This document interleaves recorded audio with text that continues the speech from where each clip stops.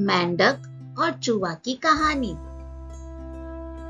बहुत समय पहले की बात है, किसी घने जंगल में एक छोटा सा जलाशय था। उसमें एक मेंढक रहा करता था।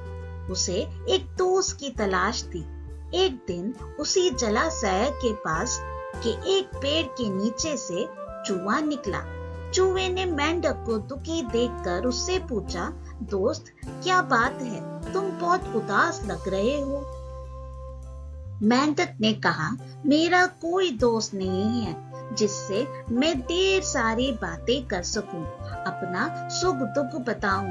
इतना सुनते ही चूहे ने उछलते हुए जवाब दिया अरे आज से तुम मुझे अपना दोस्त समझो।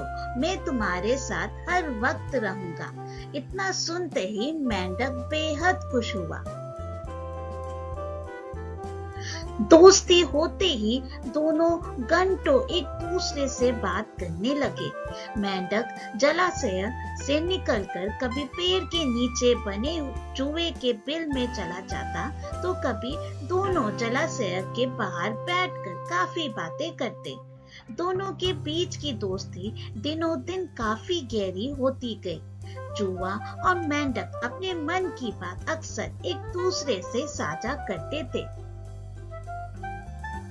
होते होते मेंढक के मन में हुआ कि मैं तो अक्सर चूहे के बिल में उससे बातें करने जाता हूँ, लेकिन चूहा मेरे जलसाय में कभी नहीं आता। ये सोचते सोचते चूहे को पानी में लाने की मेंढक को एक तरकीब सूझी।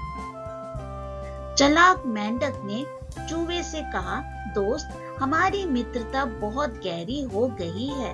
अब हमें कुछ ऐसा करना चाहिए। जिससे एक दूसरे की या, याद आते ही हमें आभास हो जाए। चूहे ने हामी बढ़ते हुए कहा हाँ ज़रूर लेकिन हम ऐसा क्या करेंगे? दुष्ट मेंढक फटाक से बोला एक रस्सी से तुम्हारी पूंछ और मेरा एक बार पैर बाँध दिया जाए। तो जैसे ही हमें एक दूसरे की याद आएगी तो हम उसे खींच लेंगे जिससे हमें पता चल जाएगा। चूहे को मेंढक के चाल का जरा सा भी अंदाज़ा नहीं था। इसलिए बोला चूहा एकदम इसके लिए राज़ी हो गया। मेंढक ने जल्दी जल्दी अपने पैर और चूहे की पूंछ को बाँध दिया। इसके बाद मेंढक ने एकदम पानी में चलांग लगा ली। मेंढक खुश था क्योंकि उसकी तरकीब काम कर गई। वही ज़मीन पर रहने वाले चूहे की पानी में हालात खराब हो गए। कुछ देर चटपटाने के बाद चूहा मर गया।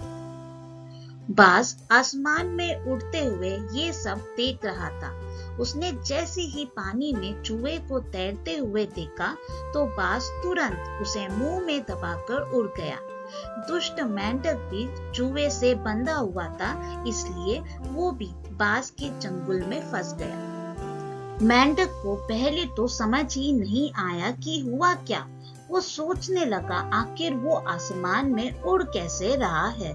जैसे ही उसने ऊपर देखा तो बास को देखकर वो सहम गया।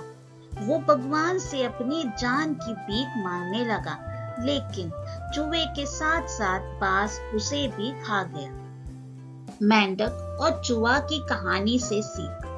दूसरों का नुकसान पहुँचाने की सोच रखने वालों को खुद भी नुकसान उठाना पड़ता है। जो जैसे करता है, वो वैसा ही बढ़ता है। इसलिए दुष्ट लोगों से दोस्ती नहीं करनी चाहिए और हर किसी की हाँ में हाँ नहीं मिलानी चाहिए, बल्कि अपनी बुद्धि का भी प्रयोग करना चाहिए। दोस्तों, अगर ये वीडियो अच्छा लगे please like share and subscribe करें. Thank you for watching